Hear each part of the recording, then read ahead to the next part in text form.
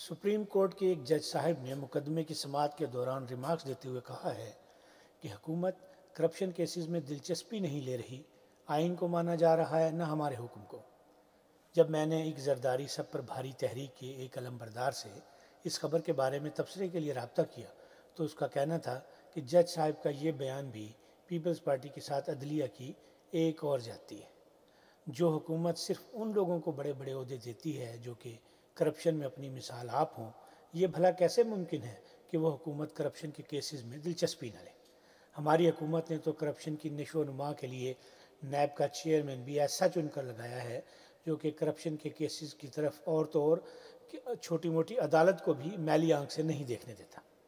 صدر زرداری بذات خود کرپشن کے فروغ کے لیے اس قدر کمیٹڈ ہیں کہ اپنے صدارتی فرائض سے فرصت ملتے ہی کرپشن کی فلاح و بہبود کے لیے نت نئے منصوبے بنانے میں لگ جاتے ہیں۔ یہی وجہ ہے کہ انہوں نے یوسف رضا گیلانی کے جاتے ہی رینٹل پاور کرپشن کیس میں نام کمانے والے راجہ پرویز اشرف کو ملک کا وزیر اعظم بنا دیا ہے اور پھر ان کے سینئر وزیر کے طور پر مخدوم صاحب کو لائی ہے، جو کہ بذات خود N I L C case میں کافی نام کما چکے ہیں۔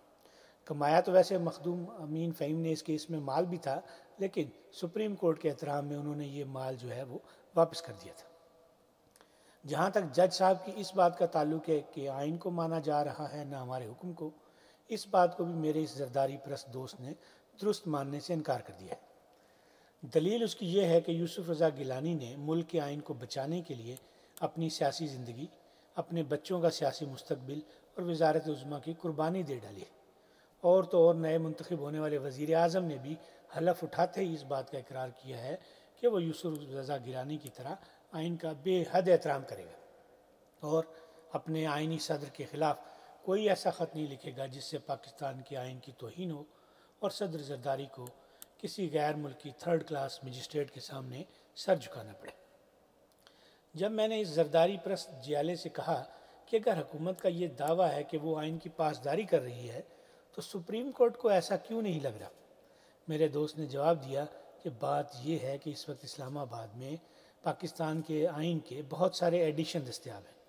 اپنے سیاسی چال چلن کو آئینی قرار دینے کے لیے ہر کوئی اپنی مرضی کا ایڈیشن استعمال کر رہا ہے۔ سپریم کورٹ کو چاہیے کہ وہ بھی فوری طور پر چیک کرے کہ اس کے ججز کے پاس آئین کا کون سا نسخہ ہے۔ لگتا ویسے یہ ہے کہ سپریم کورٹ کا نسخہ حکومتی نسخے سے مختلف ہے۔ اس لیے سپریم کورٹ کو چاہیے کہ اس آئینی نسخے کو فوری طور پر ردی کی ٹوکری کی نظر کر دے۔ اور آئین کی وہ جلد جو کہ حال ہی میں بیرسٹر اعتزاز آسن نے ترتیب دی ہے، اسے ایوان صدر سے منگوائے اور پھر اس کے مطابق کیسز کے فیصلے کرے۔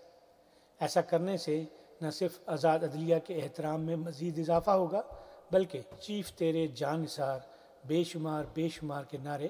ایوان صدر میں بھی لگنے شروع ہو جائیں گے۔